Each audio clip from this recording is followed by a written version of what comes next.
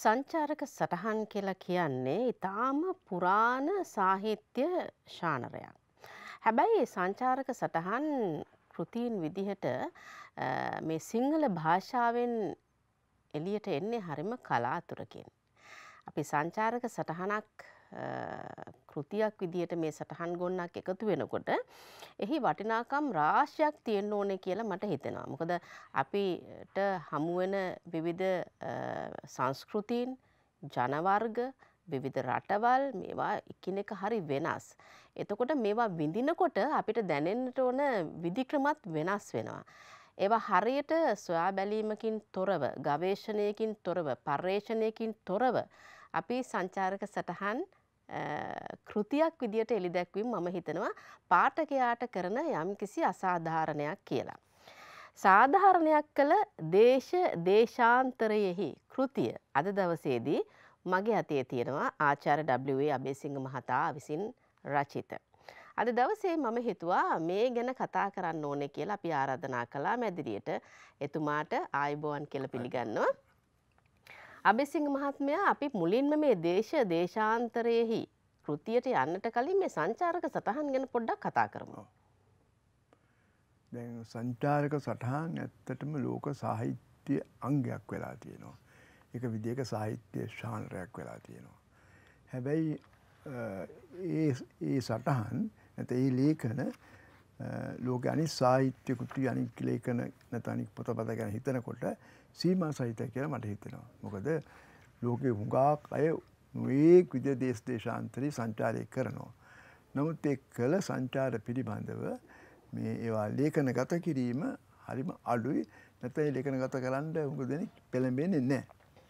නමුත් යම් කිසි අවස්ථාවක ඒවා ලේඛනගත කරලා තියෙනවා නම් එහෙම ඇත්තටම ලෝකයේ ඉතිහාසයටත් එකතු වෙනවා. සාහිත්‍ය විතරක් නෙවෙයි. අපි ගත්තු ලංකාව සම්බන්ධ විශේෂයෙන් ගත්තොත් එහෙම හියුන්සාන් පාහියන් වගේ ඒ දේශාංචාරකයන්ගේ ඒ ඒ බෞද්ධ හිමිවරුන්ගේ ඒ සටහන් ඇත්තටම ලෝක ඉතිහාසයේ විශේෂයෙන් අපේ ඉතිහාසය පිළිබඳව දොර කවුරු රාශියක් ඇති විවෘත කරන අවස්ථාවක් වෙලා තියෙනවා. ඒව ඇත්තටම වර්තමාන පාඨකයා තමයි ප්‍රයෝජනවත් වෙන්නේ. ඉතින් දේශාංචාරක සටහන් කවුරු හැල්ලුවොත් එහෙම ඒක මේ අනාගතයට ඉතුරු වෙන එක පැත්තෙන් ඓතිහාසික කෘතියක් වෙනවා. අනිත් පැත්තෙන් හොඳට ලිව්වොත් ඒක සාහිත්‍ය කෘතියකුත් වෙනවා. හොඳයි දැන් මේකේ මේ මේ කෘතිය මම හිතනවා මේ කොටස් තුනකට වෙන් කරලා තියෙනවා. ඒක පොඩි විශේෂත්වයක් තියෙනවා. දැන් අපි සංචාරක සටහන් කෘතීන් වල අපිට මුණ ගැහිලා තියෙනවා සාමාන්‍යයෙන් අපි කොහේ හරි දේශ දේශාන්තරවල සැරිසරනකොට අපි ලබන අත්දැකීම් මේවා එකට ගොනු කරලා තියෙනවා. හැබැයි මේ කෘතිය පෙළගස්වලා තියෙනවා දීර්ඝ පෙර අඩක්ද සැලකිය යුතු ප්‍රමාණයේ පසු අඩක්ද ඒ දෙකම මැදි කරගත් මැදි අඩක්ද සහිතව. ඒම කරන්න හේතුනේ මේක ඇත්තටම මේ සමහර දේ සංචාරක සටහන් මම කලින් ලියලා තිබුණා ටිකක්. ඒව තමයි මැදි අඩේ තියෙන. ඇත්තවශයෙන් ඒවා ඒ කාලේ ඒ සංචාර අවසන් වුණු වහාම වගේ ලියවුණා. ඒ වගේ තිබුණ බොණ්ඩවුම් භාවයක් තිබුණා. ඒක සමීප භාවයක් තිබුණා. ඒවා මට ඇත්තටම මන්න මට වඩාත් මේ රුචිකර ලේඛන.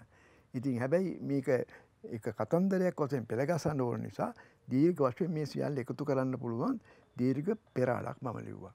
ලියලා ඊට පස්සේ අර මැදට අර පරණ ලිපි ටිකක් දාලා ලේඛන දාලා ඊට පස්සේ ඊට පස්සේ මේ මෑත භාගය සිදුවුණු එම සංචාර්ටිකුත් එකතු කලා පස්සේ මේ කාණ්ඩ තුනම එකතු කලා තමයි ඔය ඔය කෘතිය බිහිවන්න.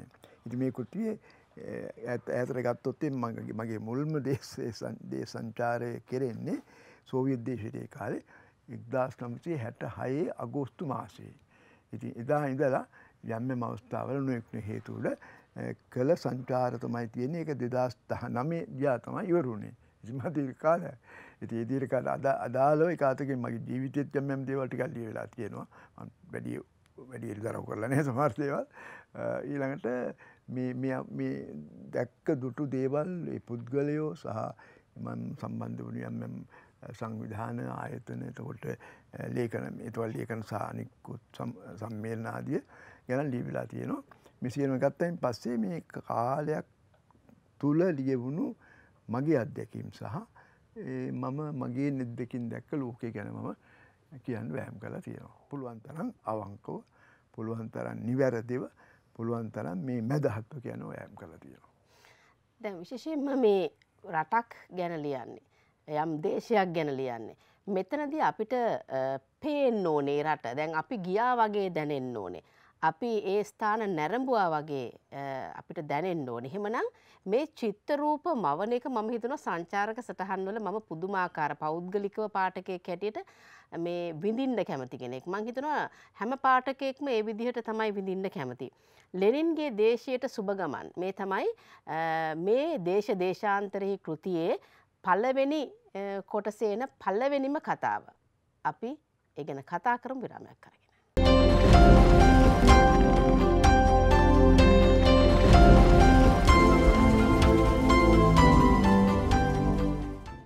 බාලයේදී අප විසින් ගුවන්යානා හඳුන්වන ලද්දේ අහස්යන්තරා හැටියටය. එදවස අප පලලේ සිටි ඇතැම් කොළු කුරුට්ටෝ ගුවන් යානාවලට අහස් යාත්‍රා කියාද කීය. අහස් යාත්‍රාවක නැගී පියාම්බා යන ආසාව පාසැල්ලන වියේ සිටම මාතුළ පැවති සිහිනයක් විය. අප කුඩාවියේදී වුව අපගේ ගම් කොටුවල ගුවන් තලය මත අහස්යානාව ඉතා සුලභ දසුනක් වුණි. අබේ සිංහ මහත්මය මම හිතනවා දැන් ඒ කාලේ අහස්යන්තරාවක නැගිල යන එක පුදුම ආශ්චර්යක්. ඒක ලැබෙන්නේ හරිම සීමිත පිරිසකට. සහ ඉතාම වාසනාවන්ත වෙන්න ඕනි කියලත් අපි බොහෝ විට හිතනවා හැබැයි දැම් මේක බොහොම සාමාන්‍ය දෙයක් වෙලා තියෙනවා විනෝදටත් අපි මේ අහස්‍ය අන්තරාය නැගලා විවිධ දේශ දේශාන්තරවල යනවා. එතකොට මේ වචන ඇතුළේ අපිට තියෙනවා මේ අහස්්‍යන්තරාවක නැගිල යන මේ චිත්ත රූප මැවෙනවා. දැන් මේ සටහන් සංචාරක සටහන් තුළ තියෙන මේ චිත්ත රූප මැවීමේ අරුමය ගැනත් අපි කතා කරමු ලෙනින්ගේ දේශයට සුභගමන් එක්කම.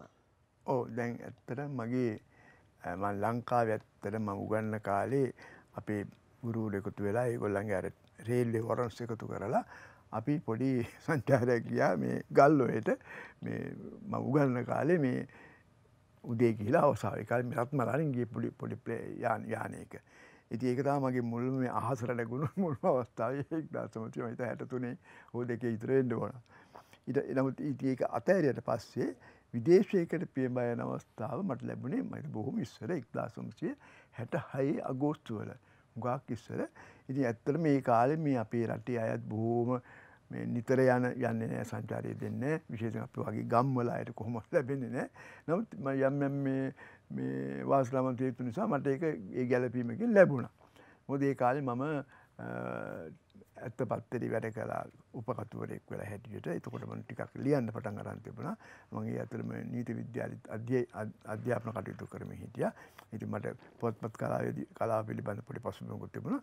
මේ අවධිය තමයි මට මේ ලංකාවේ ලේඛකයින් වෙනුවෙන් මේ ලේක සමුළුවකට රුසියාවේ විශේෂ මේ කාලේ රුසියාවේ රුසියා සමුවාණ්ඩුවේ මේ අසර් බයිජානය බාකු අගනුවර පැවත්වුණු ලේක සම්මේලක යන්න අවස්ථාව ලැබුණේ. ඉතින් ඒ ඒක් දාසනස්ති හැට හයි තරන් ඇත කාලෙක. ඉති ඒක ලොකු වාසනාවක් කියන්නේ මමයි මේ උඩ කැන්දලු සිටි සරණ කර හාමුදුර තමයි ගිය. මොද ඒ කාලේ ලංකාවේ නොෙක් ලේක සංවිධානතුව නමුත් එක විශේෂ ලේකන සංවිධානයක් පිහිටෙව්වා එක සභහපති වුණේ සුප්‍රකට මාටිකෘෂුම සූරීන් එතුමා තමයි කැමති වන තුවා සභාපති වෙන්න. ඉට පස්සක ලේකම් වසයෙන් කටයුතු කරේ කේම් සිරිසේල්ම එතුමා. එතුමා ලංකාදීපේ කතුවරේක කාලේ. එතකොට ඒකේ යම්කිසි භාගයකින් මම උපලේකම් වසයෙන් පත් වුණා. ඒ අතර මේ තමයි ඔය ඒකාල වියට්නාම් යුද්ධය තියෙන කාල වියට්නාම යුද්ධයට විරුද්ධව විරුද්ධ සමාජවාදී රටවල්ල විරෝධය ප්‍රකාශ කරන්න ඇති කළ සංවිධානයකට තමයි මුකොඳම පොඩ්ඩක් ඒ කාලේ විශේෂෙන් අපි කොමිස් පකු සම්බන්ධ වෙලා හිටිය. ඒ වගේම මේ සමාජවාදී පිළිබඳ ඒ ප්‍රබෝධය පිළිබඳ බක ලොකු උනන්දුවක් තිබුණ. කොහොමරි මම මේ මමත් මේ ඒ සංචාරයේ එක කොටි සරණ කර හාමුදුරුවයි මාහිතුමයි ඒ සංචාරය යෙදනේ. ගැන මේ බකුණුවලට ගිය. ඇතවසින් හිදි මට කතාවක් කරන්න අවස්ථාල වන බොහම දරන කාලේ අප හාමුදුරුවත් කතාව කල හාමුදුර සභාපති මණ්ඩලේ තිටිය ඉතින් මේක හරි මාස්ටර් මධ්‍යයක් මට හිතාගන්න බැරි තරන් දෙයක් මොකද මගේ ඒ අවධිය හැටිය බලකොට සමාජ හැටියට බලකොට මගේ තියෙන වෙන කිසි බල පුළුවන් කාරකමත් තිබුණෙත් නෑ ඉතින් මේක ලොකු භාග්‍යවන්ත දෙයක්. ඉති ඒක ඒ කාලෙ ඉතිං ගුවනී යනවා කියන එක ලොකු මේ විශේදයක් විශේෂ මේ කාලේ සෝවිද්දේශය රුසියාව නෙමේ සෝවිද්දේශය සෝවිත් සංගමෙන් තිබුණේ ඒ සෝවිද්දේශයට යනවා කියන එක තවත් ලොකු දෙයක් තවත් විශේෂයක් විශේෂයෙන්ම අපි අපි බොම ගෞරවයෙන් සලකපු ලෝක සමාජවාදී සමාජවාදී ව්‍යාපාරි පීතෘව වස්තලකපු ලෙනින්ගේ දේශයට යනවා කියන එක තවත් විශේෂයක්. ඉතින් මේ කරුණු සියල්ල එක්තැන් වෙලා තමයි මගේ මුල් විදේශ ගමන යෙදනේ. ඇතුවත් උනාට පස්සේ විදේශ ගමනේදී මට සති තුනක්ම රුසියා ඉන්ඩ අවස්ථාව ලැබුණා. ඒ සතුන ඇතුළත මට ලිංගරාඩ් යන්නත් ලැබුණ අවස්ථාව මේ අප මේ රුසියාවට ඇවිල්ල මොස්කවල කාලය ගත කළ අසර් බයිඩම් වල හිටිය ඉතින් ලොකු උඟ අත්දැකිම් ලැබුණ. යතරම ඒ කාලේ හිතාගන්න බැරි තරම් මං වගේ බොම තරුණ බොම ලපට ලේකෙකුට හම්ම අම්බෙන බැරිතරම් මහා ලේකව රාශයක් හම්බුණ.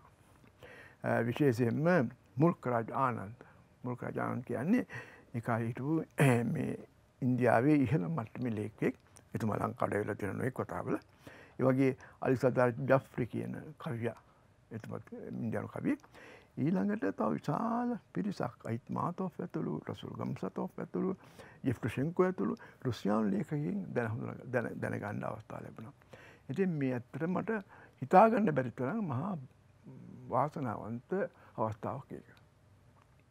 ඉතින් එකයි මම ලියලා තියෙන මේ මේ ඒක මම ආරම්භෙලිවේ මේ මේක මේ මොකද්ද ලෙනින්ගේ දේශයට මේ සුබගමන් කියලා.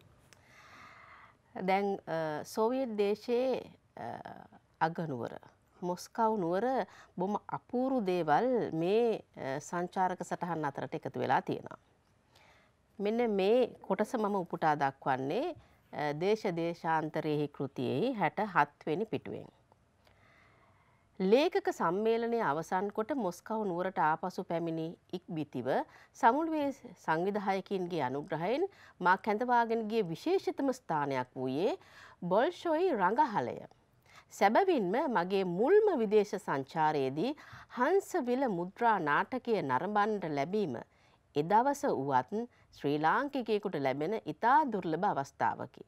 වර්තමාන ලෝකයේ අග්‍රගණ්‍ය රංගශාලා අතරද විශේෂ තැනක වැජබෙන්නා වූ මොස්කව්හි පිහිටි බොල්ෂොයි රඟහලෙහි කිසියම් මුද්‍රා හෝ අනෙක් නාට්‍ය දර්ශනයක් නැරඹීමට ප්‍රවේශපත්‍ර ලබා ගැනීම අතිශය දුෂ්කර හෙයියම් මාරුවක් වන වග මට දැනගන්නට ලැබුණේ බොහෝ කලකට පසුවය. ඒ කියන්නේ අපිට පුද්ගලයෙක් හැටියට සමහර ජීවිතයේ ලැබෙන අවස්ථාවන් හරි අපූරුයි. එක හැම කෙනෙකුටම ලැබෙන්නේ නැති අවස්ථා. එක වාසනාවකට ලැබෙන අවස්ථා. හැබැයි මේ කෘතිය තුළ ඔබටත් ඒ ස්ථානවලට යන්න අවස්ථාව අබේසිංහ මහත්තයා උදා කර දීලා තියෙනවා. මොකද මේ කෘතිය කියවගෙන යනකොට අපි මේ බොල්ෂොයි රඟහලටත් යනවා. මේකෙ තියෙන අපූර්වත්වය එහි තියෙන විශේෂත්වය එහි තියෙන අපූර්වත්වය අපිට විඳගන්න පුළුවන්. මම හිතන්නේ හැම කෙනෙකුටම මේ දේශ දේශාන්තරයන්හි යන්න සංචාරය කරන්න අවස්ථාව නොලැබුණත් ඒ යන අය යන්න නොලැබෙන අයට අවස්ථාව මේ විදිහට උදා කර දෙන එක ඉතාම වටින අවස්ථාවක්. අපි කෙටි විරාමයක් අරගෙන යලිත් හමුවෙමු.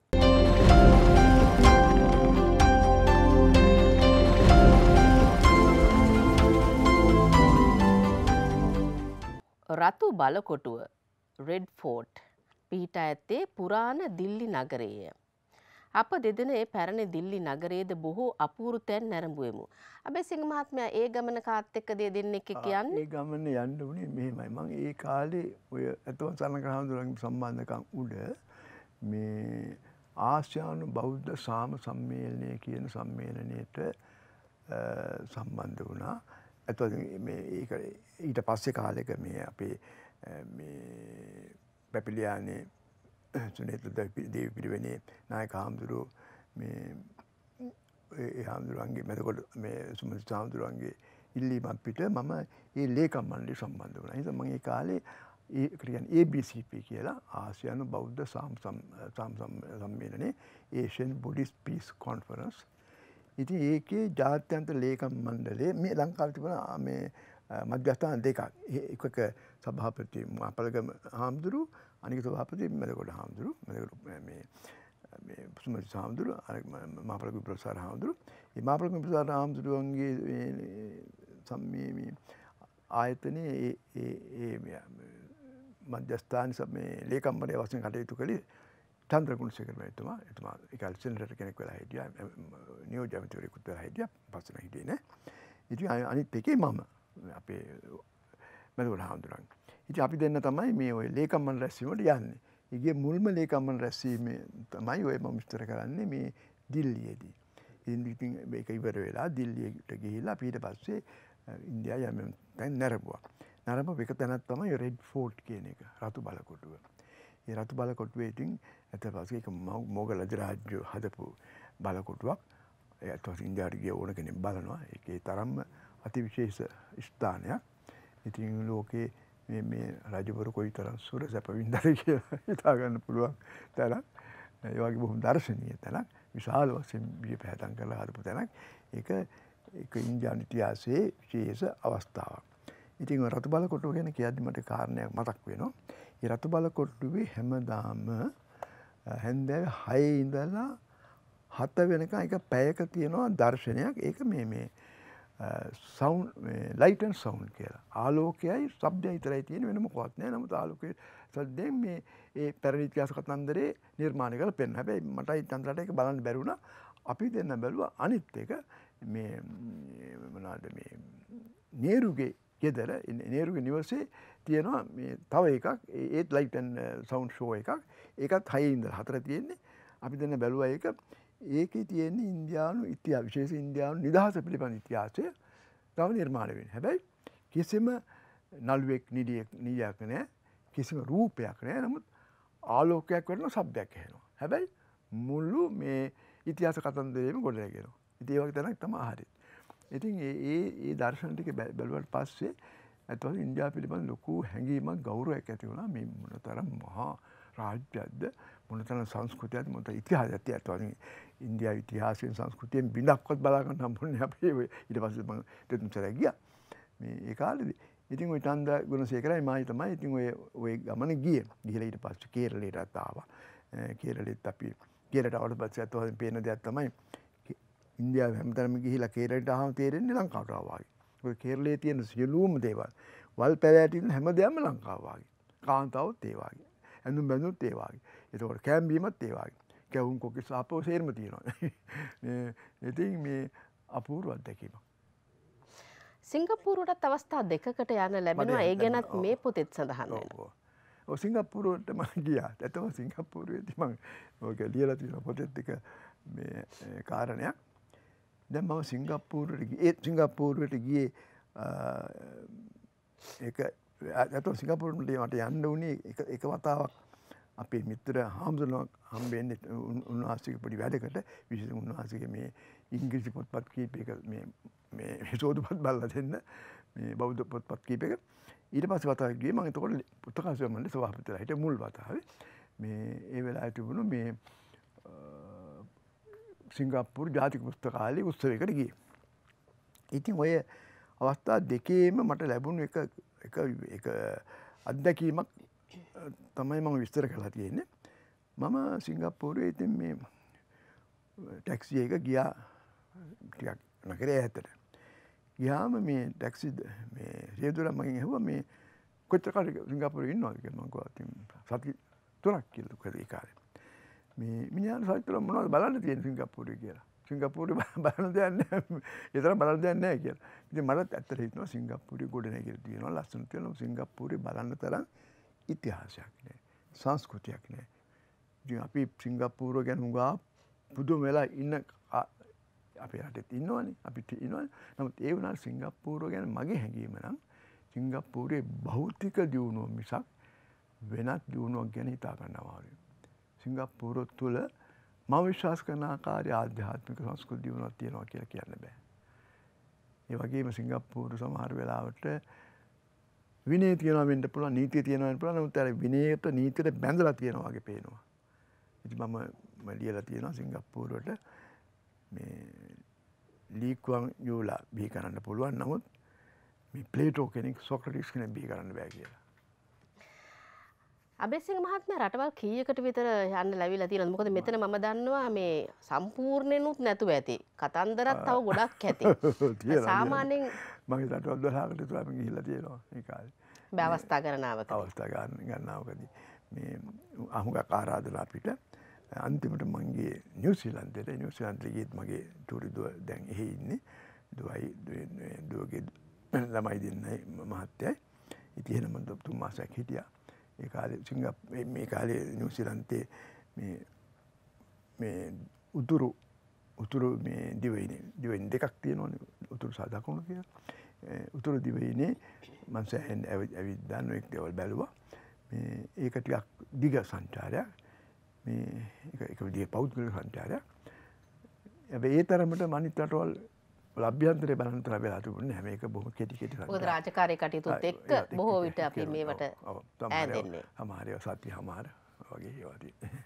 හොඳයි ඒ කෙසේ වෙතත් දේශ දේශාන්තරයෙහි ඔබට පුළුවන් විශාල රටවල් ප්‍රමාණයක් නරඹන්න යන්න මේ කෘතිය ඔබ කියවුවොත්. මොකද අපි දන්නවා අපි ගිහිල්ලා සියසියෙන් දකිනවා හා සමානව ඉතාම ලස්සන භාෂා ශෛලියකින් මේ රටවල් වල තියෙන බොහෝ තොරතුරු සාහිත්‍යාංග සමහර විට සංස්කෘතිමය තත්ත්වයන් ඒත් එකම ජාතීන් අතර තියෙන සහයෝගීතාවයන් මේ සියල්ල මේ කෘතිය තුළ තියෙනවා. ඉතින් අද දවසේ ස්තුතිවන්ත වෙන ඔබතුමාට අපේ වැඩසටහනට පැමිණියාට ඉතාම වටිනා සංචාරක සටහන් ගොන්නක් මේ කෘතියට ඇතුළත් වෙලා තියෙනවා.